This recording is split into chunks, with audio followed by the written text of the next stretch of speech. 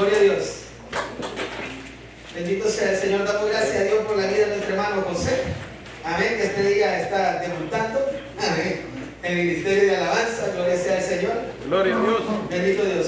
Primera carta a los Corintios, capítulo 15. La palabra del Señor la leemos honrando al Padre, al Hijo y al Espíritu Santo. Amén.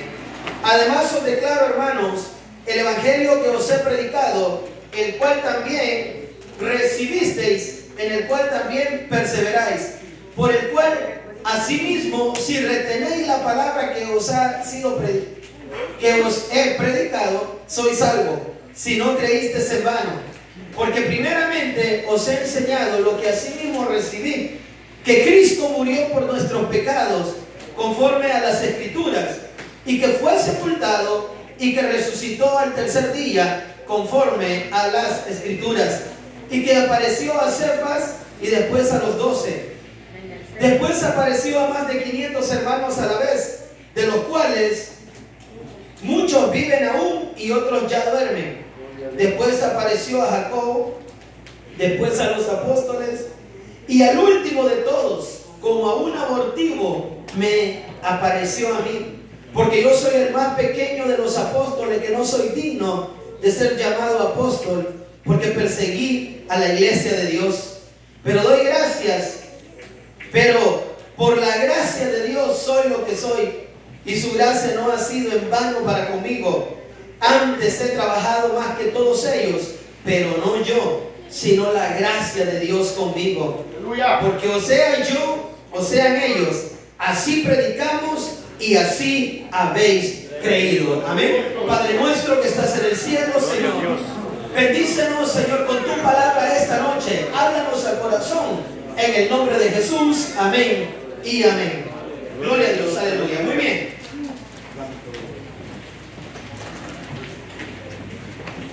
El capítulo 15, mi querido hermano, de la primera carta a los Corintios, es un capítulo eh, difícil, difícil, difícil, pero es un capítulo, mi querido hermano, en donde se nos habla acerca de, de lo glorioso que el cristiano o que, nuestro, o que nosotros tenemos, la fe que nosotros tenemos.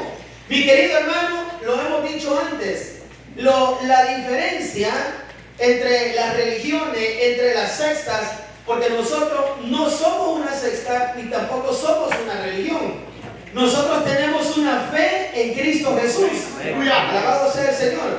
Entonces, mi querido hermano, la diferencia entre las sextas y las religiones y nosotros, mi querido hermano, primeramente es que tenemos a un Cristo vivo, a un Cristo resucitado. Alabado sea el Señor a un Cristo que dice la Biblia que vino en carne. Vino en carne para entregarse, para darse por nosotros, para darse el rescate por nosotros. Alabado sea el Señor.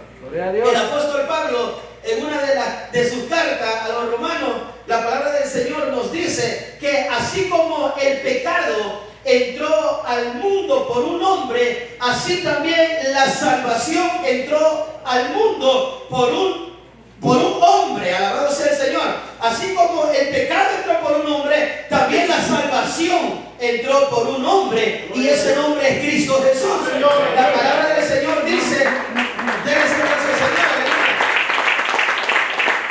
La palabra del Señor dice, mi amado hermano, en el libro de los Hechos, porque no hay otro nombre debajo del cielo en quien podamos ser salvos, sino solamente en el nombre de Cristo Jesús. No hay otro nombre. Jesús vino en carne. La Biblia claramente dice que vino en carne. Y vino a morir. Y vino a ofrecerse como sacrificio para que todo aquel que en él crea no se pierda, mas tenga la vida eterna. Cuando Jesús estuvo en la tierra hace más de dos mil años, mi querido hermano, Él vino en carne. Él, él fue hombre, como dice la Biblia, 100% hombre sin perder su divinidad. Era 100% hombre y era 100% Dios. sin embargo, la palabra del Señor dice que despojándose de su trono, despojándose de su trono de gloria, aleluya, se humilló a sí mismo, tomando la forma de hombre y siendo obediente hasta la muerte y muerte de cruz, por amor de la humanidad humanidad, para que todo aquel que en él crea. Nunca se le olvide esa palabra, para que todo aquel que en él crea no se pierda, más tenga la vida eterna.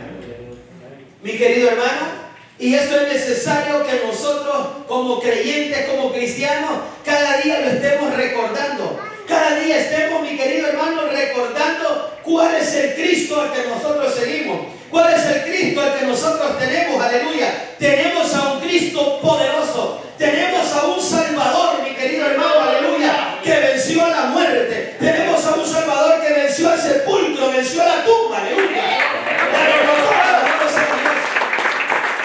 Venció la muerte. La muerte tenía como reo a la humanidad. Porque la paga del pecado es muerte. Mas la dádiva de Dios en Cristo Jesús es vida eterna. Aleluya. Es vida eterna en Cristo Jesús. La, mi querido hermano, la condenación, la condenación, el hombre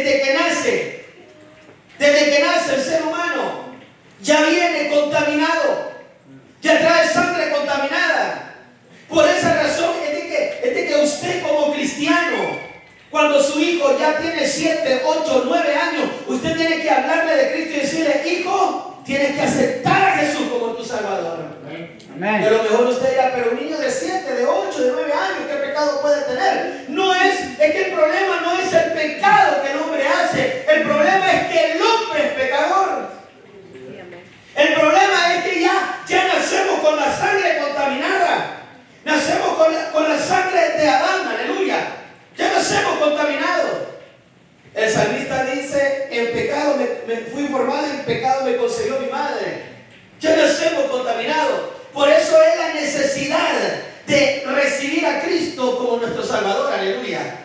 Para que entonces venga el Señor y nos, y nos dé vida, aleluya. Nos haga una transfusión de sangre, alabado sea el Señor. Y quite la condenación de nosotros y nos dé su salvación. El apóstol Pablo, mi querido hermano, en la carta a los Corintios ha venido hablando de diversas problemas y situaciones que la iglesia de Corintios tenía. Los hemos visto este año. También habló de los dones y de los ministerios. En capítulo 14, que era el capítulo que tocaba este día, no lo estudiamos, no lo vamos a predicar porque suficiente se ha hablado en los estudios pasados que hemos tenido acerca del capítulo 14, que habla el apóstol Pablo, dice de cómo se tiene que hacer el culto en la congregación. Pero ahora entonces, después del 14, después de dejar de hablar de los dones y de los ministerios, ahora nos pasamos al capítulo 15 y hay un cambio de pensamiento, o más bien dicho, de, de, de, enseñanza. Porque ahora entonces el apóstol Pablo le comienza a hablar a los de Corintio algo que ellos lo sabían muy bien, pero que es necesario que la iglesia de Jesucristo lo esté recordando continuamente, aleluya. Que es necesario que la iglesia de Jesucristo lo esté recordando y sepa quién es el Señor al que le sirve. Y sepa a quién está siguiendo, aleluya. Porque cuando nosotros hablamos de la resurrección de nuestro Señor Jesucristo, mi querido hermano, si Él resucitó, imagínese qué problema Él no puede resolver en su vida. ¿Qué cosa Jesús no puede hacer? Aleluya. Venció a la muerte, venció al sepulcro,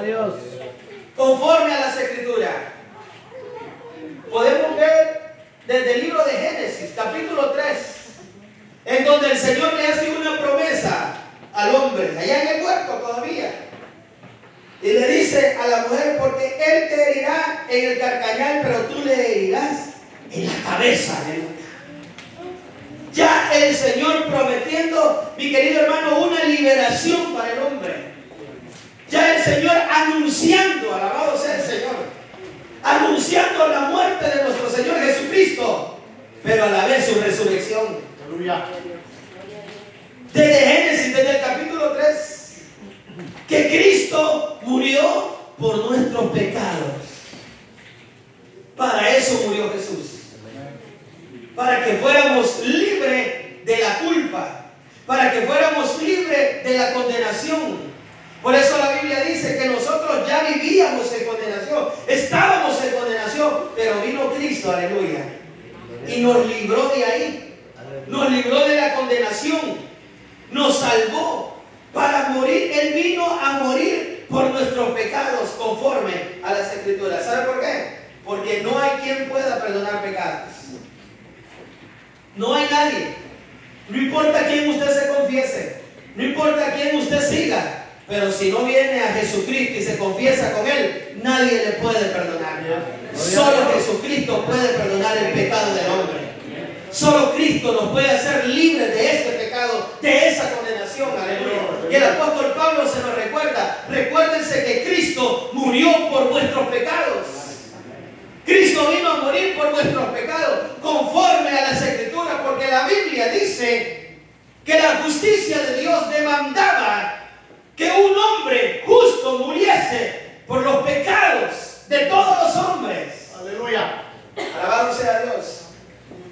Por eso uno de los, de los fariseos en profecía, profetizando prácticamente, dijo, cuando arrestaron a Jesús, es necesario que uno muera por el pueblo, dijo, haciendo referencia a Jesús. Es necesario que uno muera por el pueblo.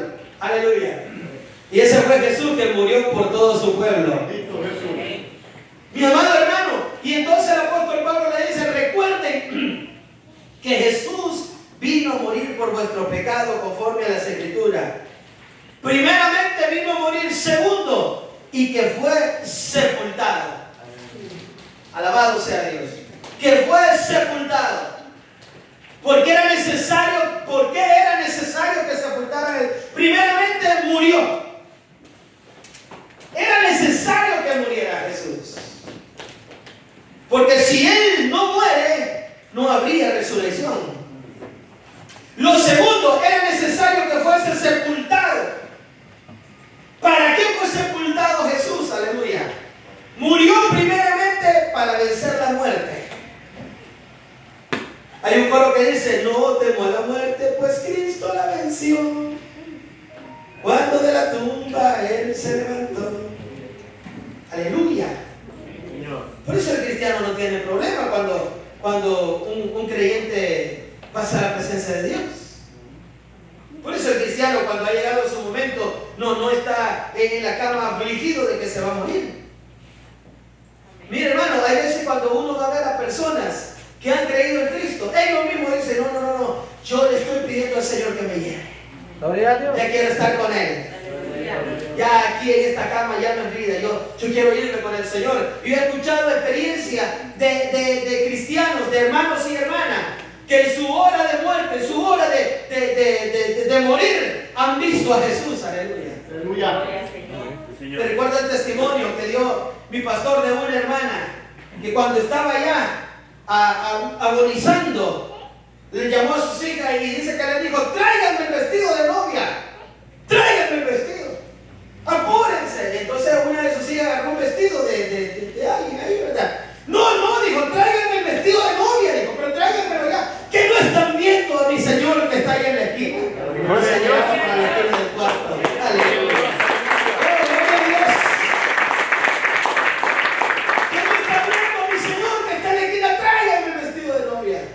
Y le llevaron un vestido blanco y se lo pusieron encima, porque la hermana estaba hinchada toda ella. Y le pusieron el vestido y ella decía, ahí está mi señor en la esquina. Y parece que hasta la regañó, compórtense, no miren a mi señor en la esquina. Estaba viendo a Dios. Estaba viendo a Jesús. Aleluya. Honroso es ante los ojos del Señor la muerte de sus santos. Aleluya. Esteban dijo, veo los cielos abiertos y al Hijo del Hombre sentado a la diestra del Padre. Alabado sea el Señor. Gloria sea Dios. La convicción, el Señor Jesús tuvo, tuvo que ser sepultado. ¿Sabe para qué? Para vencer al sepulcro. Aleluya. Para vencer la tumba. Para derrotarla, para callarla. Para decir, ni la muerte me pudo atar y la tumba no me pudo retener. Ese es el Cristo que tenemos nosotros. Ese es el Cristo que hemos creído. Un Cristo poderoso. Un Cristo poderoso, aleluya. Un Cristo grande, un Cristo maravilloso. Oh, mi amado hermano, era necesario que muriera para que venciera la muerte. Era necesario que fuese sepultado para que venciera la tumba. Pero al tercer día, alabado sea Dios. Al tercer día, aleluya. Al tercer día vinieron las buenas nuevas. La palabra del Señor dice, mi querido hermano, aquí mismo, en el versículo 4, y fue sepultado y que resucitó al tercer día conforme a las escrituras. Bendito Jesús. Oh, mi querido hermano.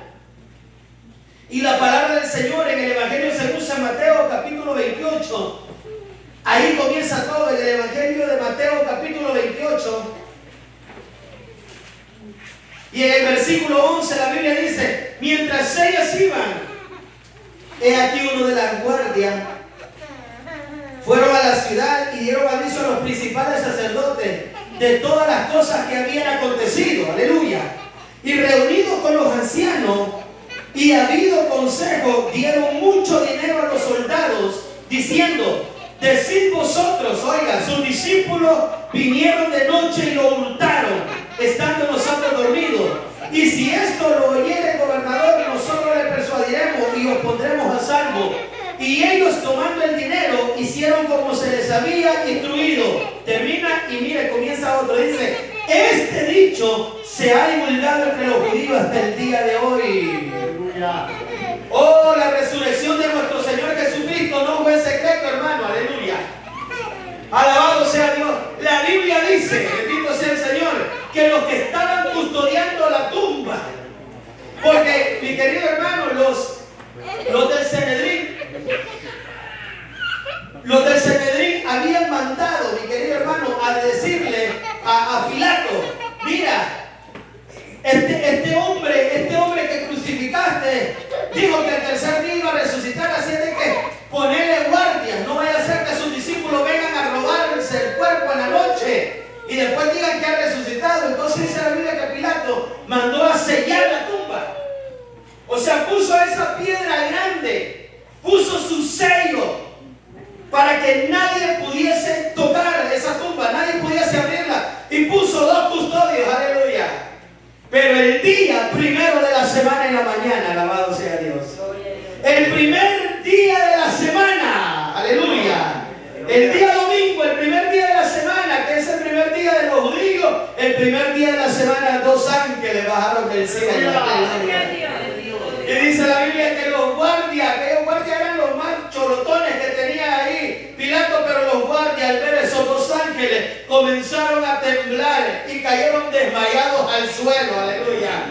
Los guardias que Pilato había puesto cayeron desmayados al suelo y llegaron los ángeles y se sentaron sobre la piedra. Aleluya. Oh, la piedra no fue removida para que Jesús saliera, la piedra fue removida para que usted entrara y se diera cuenta que Cristo resucitó.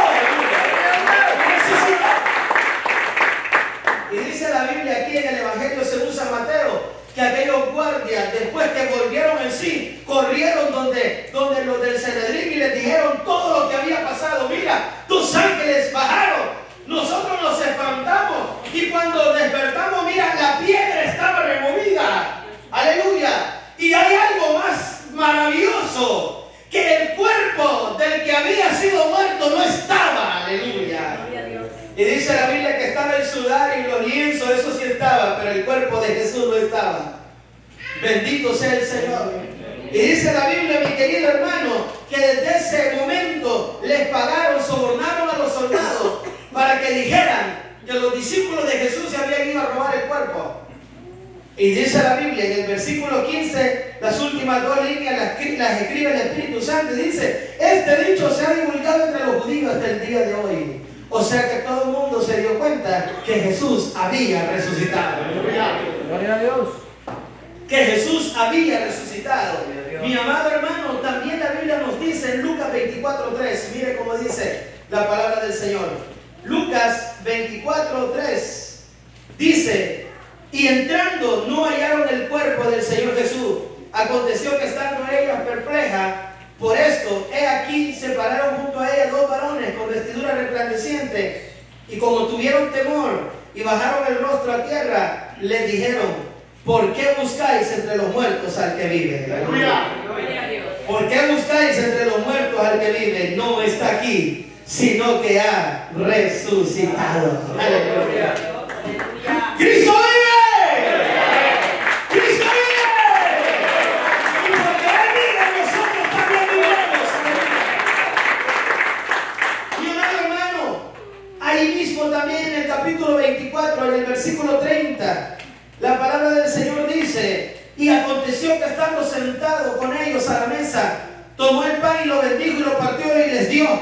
Entonces le fueron abiertos los ojos y reconocieron, mas él se desapareció de su vista y se decía el uno al otro, no ardía nuestro corazón en nosotros mientras nos hablaba en el camino y cuando nos abría las escrituras. Aleluya. Y aquí la Biblia está refiriéndose a dos discípulos que iban camino a Emaús, aleluya. Y dice la Biblia que yendo camino a Emaús, se apareció Jesús con ellos. De repente ahí, de repente ahí Jesús les alcanzó y comenzaron a caminar. Los tres, iban caminando los tres. Y entonces Jesús comenzó a hablar con ellos y ellos hablaban con Jesús. Y entonces Jesús les dice, ¿y por qué van tan tristes? Y entonces estos dos hombres que iban camino de Maús les dice, ¿qué? ¿Acaso eres forastero? ¿Eres el único que no se ha dado cuenta de lo que pasó en Jerusalén? Y Jesús les dice, ¿y qué fue lo que pasó? No te diste cuenta que mataron al justo. Mataron al santo, lo crucificaron y comienzan a contarle la historia. Y iban hablando de él. Y Jesús se hizo como el que no sabía. Pero el Señor les dijo, oh insensatos de corazón, de incrédulos. ¿Acaso no fue eso lo que dicen las escrituras? Que era necesario que muriera para que resucitara el tercer día. Pero ellos no conocieron que era Jesús. Y entonces dice la Biblia que llegando los dos que iban camino a Maús, llegando a la casa a donde se iban a quedar, Jesús hizo como que iba de largo, como que iba para otro lado. Y entonces aquellos dos hombres le dijeron, ven, quédate con nosotros, es noche, ven, pasa. Entonces Jesús aceptó pasar, entraron a la casa, sirvieron, sirvieron a la mesa, y cuando sirvieron Jesús se les adelantó, pusieron el pan en medio, y Jesús se les adelantó y cogió el pan. Y lo levantó y lo bendijo y oró. Y cuando lo puso de nuevo en la mesa, sus ojos fueron abiertos y dijeron, ¡Es él! ¡Es Jesús! ¡Aleluya! ¡Es Jesús! Pero cuando dijeron, ¡Es él! Desapareció enfrente de ellos. ¡Aleluya! Ay, entonces yo tengo decía, le dice uno al otro, no te acuerdas, no sentías como el corazón ardía cuando él partía entre nosotros cuando él hablaba. Alabado sea Dios. Porque te queda el Espíritu Santo, el corazón le arde cuando oye la palabra del Señor. Aleluya. Le arde dentro, alabado sea el nombre de Jesús. No te cuenta cómo ardía nuestro corazón. Y mi querido hermano, también ahí mismo en el capítulo 24, en el versículo 36, mire cómo dice la palabra del Señor. Lucas 24, 36. Dice, mirando a ellos aún hablaban esta cosa. Jesús se puso en medio de ellos y les dijo, pasa a vosotros. Entonces, y atemorizados, pensaban que veían espíritu. Pero él les dijo, ¿por qué estáis turbados? Y vienen a vuestro corazón estos pensamientos. Mirad mis manos y mis pies, que yo mismo soy. Palpar él, porque un espíritu no tiene carne ni hueso como veis que yo tengo. 40. Y diciendo esto, le mostró las manos y los pies. Y como todavía ellos, de gozo, no de incredulidad, de gozo, de gozo, de gozo, no creían y estaban maravillados, les dijo, ¿tenéis aquí algo de comer? Ya ven, no me acuse que yo a mí me gusta comer. ¿Tenéis aquí algo de comer? Entonces le dieron parte de un pez asado y un panal de miel. Y él lo tomó y comió delante de ellos. Y les dijo, estas son las palabras que os hablé estando aún con vosotros, que era necesario que se cumpliese todo lo que estaba escrito de mí en la ley de Moisés, en los profetas y en los salmos. Entonces les abrió el entendimiento para que comprendiesen las escrituras. Aleluya. Así está escrito y así fue necesario que Cristo padeciese y resucitase de los muertos al tercer día. Gloria a Dios. Dice la Biblia que los discípulos estaban reunidos, estaban en el aposento ahí, con las puertas bien cerradas, porque tenían miedo a la persecución. Estaban bien encerraditos ahí, y de repente en medio de ellos, ¡pum! aparece Jesús. En medio de ellos. Y ellos dice la Biblia que se espantan. Porque una persona no puede aparecer así por así. Entonces ellos creen que es un espíritu. Pero es que lo que pasa es que Jesús había resucitado con un cuerpo, pero ese cuerpo ya no estaba, mi querido hermano, ya no estaba atado ni a la gravedad, ni a nada de, de, lo físico, sino que era un cuerpo glorificado, aleluya. Pero es un cuerpo. Y quiero que vean esta parte, porque Jesús aparece en medio de ellos. Y dice la Biblia que ellos se, se asombran y creen que es un espíritu. En otras palabras, ellos creen que es un fantasma el que se ha aparecido, el fantasma de Jesús se apareció. Entonces, como Jesús ve que ellos están atribulados al ver la visión, Jesús les dice, tranquilo, soy yo. Soy Jesús. Gloria a Dios. He resucitado, pero ellos todavía no creen. Y entonces Jesús dice, miren mis manos. Ah, no era un espíritu, miren mis manos, tóquenme. La palabra mirar es tóquenme, toquen mis manos, denme la mano. Un espíritu, un espíritu no, no, no, no te puede dar la mano, pero yo sí puedo y vas a sentir el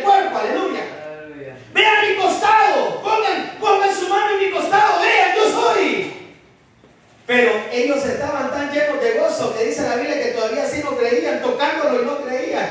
Y entonces Jesús les dice, bueno, ¿tienen algo que comer? Y dice la Biblia que había sobrado un, un pedazo de pescado asado y un paral de miel y Jesús le dijo, tráiganlo. Y se sentó tranquilo y agarró el pescado y comenzó a comer. Y comenzó a comer, aleluya. Así va a resucitar usted, con un cuerpo glorificado. Con un cuerpo glorificado, aleluya. Comenzó a comer frente a ellos y agarró el panal de miel y se lo deleitó ahí nuestro Señor Jesús. Y después de haber comido dijo, ¿tienen más? No, bueno, entonces creen o no creen. Yo soy, aleluya. Yo soy, he resucitado. Esto fue lo que yo les dije a ustedes. Mi querido hermano, y esto es lo que el apóstol Pablo le está diciendo a la iglesia de Corintio. Mi querido hermano, y esto es lo que el Espíritu Santo nos está diciendo a nosotros esta noche. Tenemos un Cristo que su resurrección no fue escondida, aleluya. No fue tras pantolina, no, no fue tras, tras la cortina, no, fue pública su resurrección. Fue pública, aleluya. Los guardias lo sabían, el Senedrín se dio cuenta. Los que lo crucificaron se dieron cuenta. El soldado cayó ante la cruz y dijo, verdaderamente, este es el Hijo de Dios. Sabían que era Jesús, el Mesías, el que habían crucificado. Sabían que iba a resucitar y resucitó. Y se le comenzó a aparecer a los discípulos. Se le apareció a María, se le apareció a todas las mujeres que le habían seguido, se le apareció a todos sus discípulos. Aleluya. Y entonces es lo que dice el apóstol Pablo en primera carta a los Corintios en el versículo 5, y que apareció a Cefas, este es Pedro, y después a los 12, después apareció a más de 500 hermanos a la vez, de los cuales, escuche esto, muchos viven aún y otros ya duermen. Oiga mi hermano, cuando Pablo le está escribiendo esto a los corintios, Jesús ya hacía años que había ascendido al cielo. Y Pablo les dice a los corintios, ¿saben qué? Los testigos de la crucifixión de, de, la resurrección de Cristo, hay muchos que todavía están vivos, aleluya. Hay muchos que pueden dar fe, que vieron a Jesús resucitado y que estuvieron en su ascensión. Yo quiero, mi querido hermano, que le quede claro esto. Ante las leyes civiles y terrenales por año, solo se necesitan uno o dos testigos para confirmar que algo es cierto, que algo es real. Pero de la resurrección de Jesucristo no hay uno, no hay dos, no hay tres testigos, no hay doce, no hay cincuenta, no hay cien. Hay decenas, hay cientos de personas que vieron que Cristo resucitó. Aleluya. Pero eso va más allá. Tampoco hay cientos, tampoco hay miles, haremos millones, aleluya, que somos testigos de que Cristo resucitó. Gloria a Dios. Gloria a Dios. Millones. Y dice la palabra del Señor que Jesús apareció a más de 500 hermanos a la vez. Y después se apareció a Jacobo. Cuando dice Jacobo, no se está, se está refiriendo, mi querido hermano, al hermano de Jesús, al hermano en carne de Jesús, aleluya. Yo sé que la iglesia tradicional enseña que María no tuvo más hijos, solamente fue Jesús, pero la Biblia no nos enseña eso. La Biblia nos enseña que María, la madre de Jesús, tuvo más hijos e hijas también. Alabado no vamos a entrar en cuestión de eso, porque ahorita estamos hablando de la gloriosa resurrección de nuestro Dios Jesucristo. Pero no está de más decir, aleluya. Porque aquí se menciona al hermano en carne de Jesús. ¿Sabe por qué se le apareció a él? Porque la Biblia dice que ni sus mismos hermanos creían en el mensaje de Jesús. Señor. Ni sus mismos hermanos creían, mi querido hermano, aleluya. De que Jesús era el Mesías. No creían en el mensaje deJesús. Gloria a Dios. Bendito Dios. Bienvenidos, hermano. Me alegro que estén bien. Señor les bendiga. Bienvenidos. Mi querido hermano, la Biblia dice, bien para adelante. La Biblia dice que ni sus mismos hermanos en carne creían que Jesús era el Mesías. Dice la Biblia que lo, que lo rechazaron. Dice la palabra del Señor que Jesús no pudo hacer ningún milagro en su tierra por la incredulidad de su mismo pueblo. No pudo hacer ningún milagro entre, ni entre la, su familia porque no creían en él, aleluya. Y entonces Cristo resucitado se le aparece a Jacobo su hermano. Dice la palabra del Señor que se le aparece a Jacobo y después a todos los apóstoles. Y entonces en el verso 8, el apóstol Pablo dice, y al último de todos, aleluya, como a un abortivo, me apareció a mí. Mire qué lindo. Mire qué bello es esto, mi querido hermano. Porque el apóstol Pablo, aún con toda la bendición, con toda la, la luz que Dios le dio a él, el apóstol Pablo, mi querido hermano, no agarra ningún crédito para él. Dice, y por último, como a uno que ya casi está muerto. Eso significa como a un abortivo, como a uno que ya casi está muerto, dice el apóstol Pablo, me apareció a mí. Dice, me apareció a mí. Porque yo soy el más pequeño de los apóstoles, dice Pablo. Que no soy digno de ser llamado apóstol, porque perseguí a la iglesia de Dios. Mire qué tremendo. El apóstol Pablo dice, soy el más pequeño y no soy digno de ser apóstol. No soy digno de, de, tan gran privilegio que Dios me ha dado, porque yo fui perseguidor de la iglesia, de la iglesia de Dios. Mi amado hermano, pero dice la Biblia que esto no es por obra para que nadie se gloríe. Esto es por gracia. Esto no es por méritos, alabado sea el Señor. Esto no es porque si yo me lo merezco, porque si usted se lo merece. Esto es por la gracia de Dios. No es por lo bueno que seamos, ni por lo malo que seamos, es porque Dios es bueno y nos amó primero. Y el apóstol Pablo dice, porque soy el más pequeño, no soy digno de ser llamado apóstol, porque perseguía la iglesia de Dios. Versículo 10. Pero por la gracia de Dios soy lo que soy. Y su gracia no ha sido en vano para conmigo. Antes he trabajado más que todos ellos, pero no yo. Amén. Sino la gracia de Dios. Bendito Dios. Sino la gracia de Dios conmigo. Dice el apóstol Pablo, doy gracias a Dios. Pero por la gracia de Dios soy lo que soy. Por la gracia de Dios soy lo que soy. Y qué lindo que podamos nosotros tener esas palabras también en nuestros labios. Lo que sois, lo soy por la gracia de Dios. No por méritos. Es por la gracia de Dios. Y dice la palabra del Señor. Y su gracia no ha sido en vano para conmigo. Y llama eso la atención porque dice, antes he trabajado más que todos ellos. Parece que el apóstol Pablo se, se exalta un poco. He trabajado más que todos ellos, dice. Ah, pero rápidamente vuelve a bajar y dice, he trabajado más que todos ellos, dice. Pero no yo, dice, sino la gracia de Dios conmigo. Gloria a Dios. Él comienza diciendo que lo que es, lo es por la gracia de Dios. Pero llega un momento como que el viejo hombre quiere salirse, ¿no? Y dice, ah, yo he trabajado más que todo esto. Está hablando de Pedro. Está hablando de, de, de todos los apóstoles. Pero inmediatamente recapacita y dice, ah, pero no yo, sino la gracia de Dios en mí. O sea que lo que hagamos o lo que podamos hacer no es por nuestra fuerza, es por la gracia de Dios en nosotros.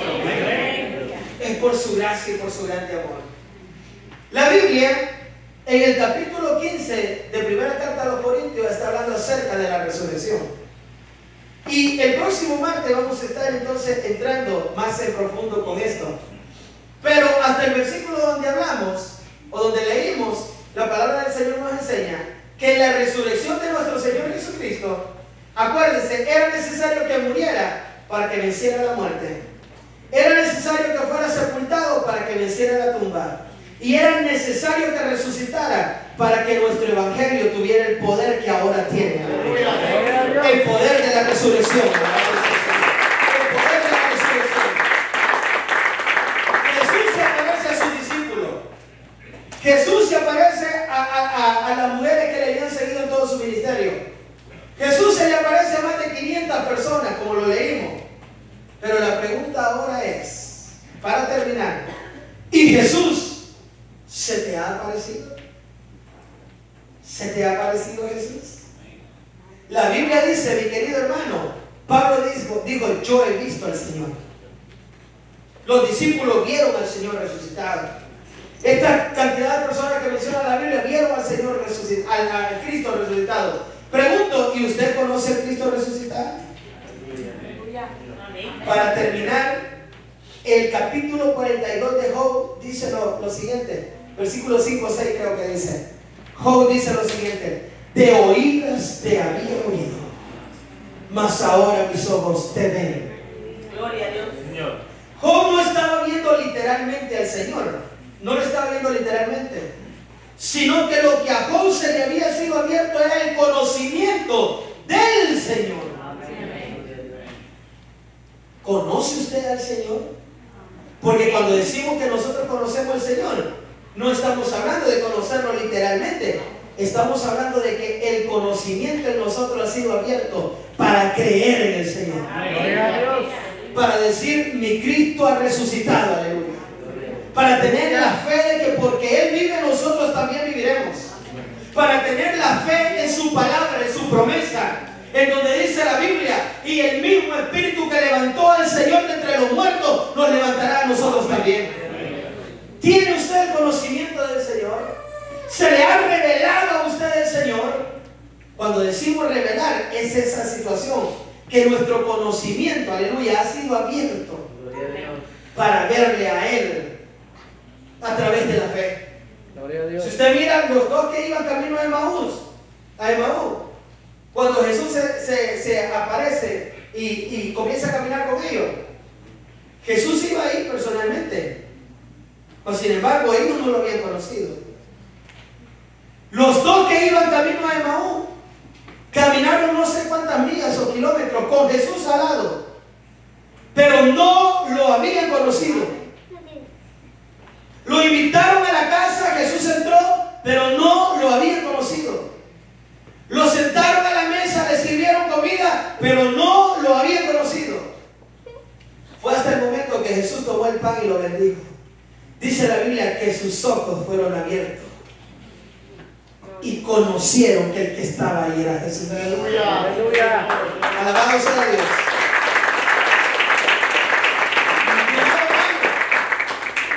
No vaya usted a andar caminando con Jesús y quizás todavía no lo conoce.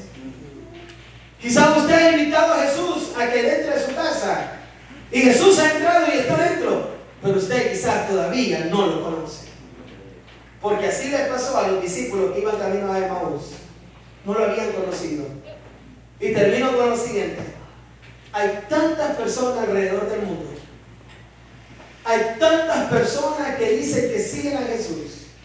Hay tantas personas que dicen que están siguiendo a Jesús. Pero todavía no lo conocen. Tienen una religión. Pero todavía no lo conocen. Quiere el Señor, mi querido hermano, que nosotros no estemos caminando con Jesús sin conocerle todavía. Quiera Dios que si hay alguien aquí esta noche, que sus ojos de fe, del corazón, del alma, que si su entendimiento no ha sido abierto para conocer a Jesús, esta misma noche se abra y le pueda conocer usted personalmente, aleluya. Porque cuando usted conoce a Jesús, mi querido hermano, entonces todo en usted cambia. Cambió los dos que iban camino de Maú. ¿Cómo iban? Iban tristes. Iban tristes porque iban llorando a un muerto, a un muerto que ya había resucitado porque Dios lo hacía muerto. Pero cuando se dieron cuenta que estaba ahí con ellos, dice que su corazón cambió y comenzaron a gozarse a hablar con los demás. Cambió cuando se le apareció a sus discípulos. Estaban encerrados, estaban atemorizados. Porque creían que había fracasado todo, que su Señor, su Maestro había muerto. Según ellos estaba sepultado. Pero Jesús se apareció. Y mi querido hermano, después que vieron a Jesús resucitado, la Biblia dice que esos discípulos fueron imparables. El apóstol Pedro dice la Biblia en, en, Hechos capítulo 3, comenzó a predicar la palabra con autoridad y poder. Aquel Pedro, aleluya, que cuando estaban eh, latigando a Jesús, había tenido temor y había negado el nombre de Jesús. Ahora se para en la plaza y comienza a predicar y en su primer sermón se convierte, se convierte en tres mil personas. Predica otra vez y se convierte en cinco mil personas. Llega, llegan los principales del, del, del a quererlo arrestar, a quererlo callar. Y comienza a decirle, este es Jesús, el que ustedes crucificaron pero que Dios lo levantó de entre los muertos. Aquel que conoce a Jesús tiene un cambio en su vida, aleluya. Aquel que conoce a Jesús se le va el temor porque el Espíritu de Dios le da una autoridad, porque confía, porque sabe que está siguiendo a un Cristo resucitado, Cristo poderoso, a un Cristo que viene No te vayas a encontrar, mi querido hermano, con Jesús y ni siquiera lo conoces. Pídele al Espíritu Santo que te abra el entendimiento esta misma noche. Pide al Espíritu Santo, Señor, yo quiero tener un encuentro personal contigo, Señor. Yo quiero tener un encuentro contigo, aleluya. Yo quiero escuchar tu voz, yo quiero sentirte. Yo quiero experimentar la bendición que hay de haber visto al Cristo resucitado. Él no tardará en concederse, hermano. Yo no sé lo que el Señor va a hacer en su vida. Porque Dios trabaja por, de diferentes maneras. Pero una cosa sí sé, el Señor está con el deseo de que usted le conozca y tenga una experiencia personal con Él. Vamos a hablar en esta hora. Padre nuestro.